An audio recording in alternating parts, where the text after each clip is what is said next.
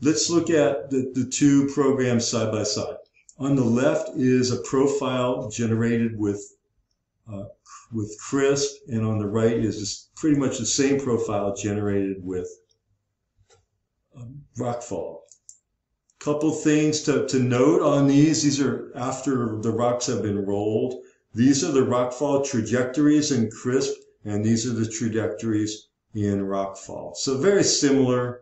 One thing and CRSP, the rocks are, are just rolled. You can see them as lines. But with RocFall, you can actually isolate a particular rock and watch it roll in slow motion to get an idea of how it will behave on the slope. The next thing that we want to look at are energy losses. When, when the rocks bounce through the air, they're not losing energy, but when they, they hit the surface, of course, you're losing energy, and that energy is lost in, in various modes, in, in bouncing and, and frictional losses and surface roughness, and that's what we're going to talk about. Uh, a couple other things I want to note here um, are the bounce heights and energies at critical points. CRSP uses a thing called an analysis point. It allows you up to three analysis points, or APs, and these are shown on the, the profile after the program's been run. RocFall calls the analysis points collectors, and those are called collectors, and they're right, this is the same collector for this particular run. So what we get at the collectors or the analysis points are the energies and bounce heights of the rock at that point.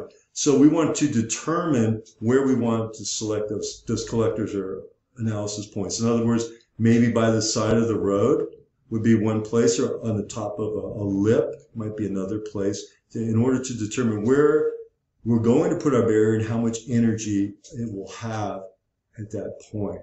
Um, I might add a couple other things. These are the elevations on the left. Both programs are similar elevations on the left. In CRSP, you can only go from left to right. Uh, with RocFall, I believe now you can go from right to left, but generally just set it up like CRSP.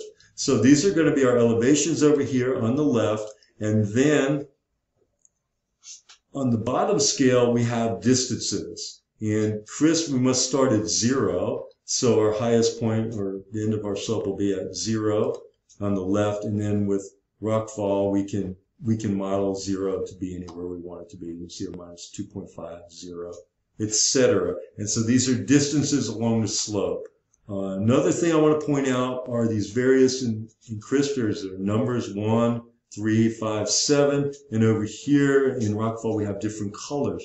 Those correspond to different parts of the slope with different properties. These properties could be different material properties. For instance, this brown might represent a boulder field, the green might represent grass, or they could be different slopes. We have a straight slope here in this brown area, and then it gets steeper here, and then it picks up again. There's a grade change here, and there's gray. So those are different properties that we want to look at and we want to input.